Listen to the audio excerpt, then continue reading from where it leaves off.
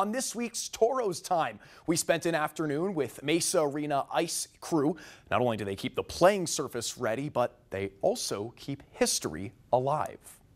I don't have a team picture for the. Oh, I do have a team picture. It's in here. Maysa Arena's workshop more closely resembles a museum than a Zamboni garage. I try to put up pictures that mean something. Ice operations manager Larry McFall has seen the sport of hockey develop in Minot over the past 50 years. All hockey's better in the last 20, 30 years.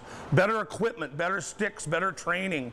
They don't go to McDonald's for a couple Big Macs before the game like we used to do. He's condensed five decades of history into what he calls the Minot Hockey Bible. Well, that's a picture of me with the 1974-75 uh, team when I was a junior, one of the two goaltenders. Back in his playing days in the 70s, Minot High School practiced outside the ballpark. In the background, you can see the warming house. This is at Corbett Field. As of February 20th of uh, 2020, Minot High was 68, 60, and 3 against Bismarck. McFall says the Minot Minotauros have grown the game in his hometown. They have done an awful lot. The kids look up to him so much.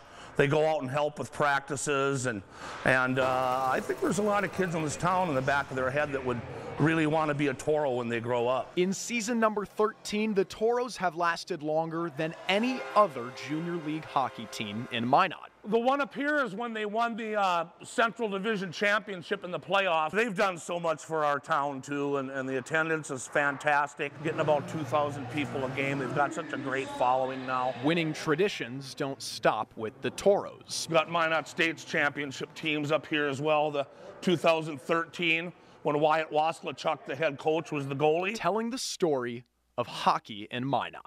I try to get all the championship teams and stuff in here to, to keep the memory going. I've seen history disappear too many places. But you got to remember where you came from before you can get to where you're going. I try to keep history alive as much as I can.